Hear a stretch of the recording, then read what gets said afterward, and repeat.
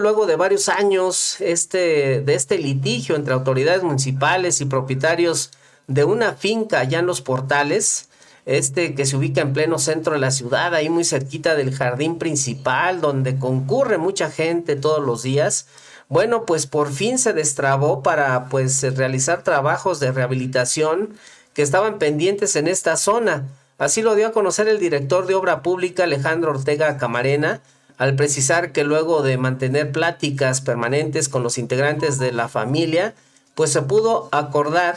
la firma de un convenio donde se involucra a los comercios también que se encuentran en esta zona y que por los trabajos que se contemplan realizar, pues van a resultar afectados durante los eh, periodos o este tiempo que se realicen estas actividades en el lugar. Es importante tener la autorización del INA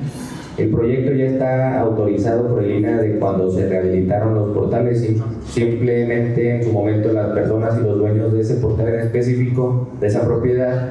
este, pues no autorizaron. Ahorita ya contamos con la autorización y lo único que estamos haciendo es este, renovar el, eh, el permiso con el INA.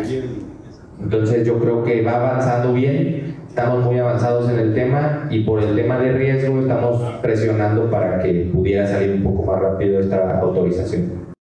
Recordar que al inicio de la rehabilitación de los portales, hace años atrás, los propietarios de una parte se negaron tajantemente a dar su autorización para que se realizaran los trabajos, provocando, por supuesto, una pésima, pero pésima imagen en el centro de la ciudad, debido a que las autoridades bueno, pues para evitar el colapso de la parte alta de esta vivienda, colocaron polines de madera que con el tiempo se apolillaron, se rompieron y la verdad que resultó ya más complicado el asunto porque pues la, prácticamente las autoridades pasadas se olvidaron de este espacio, de este lugar.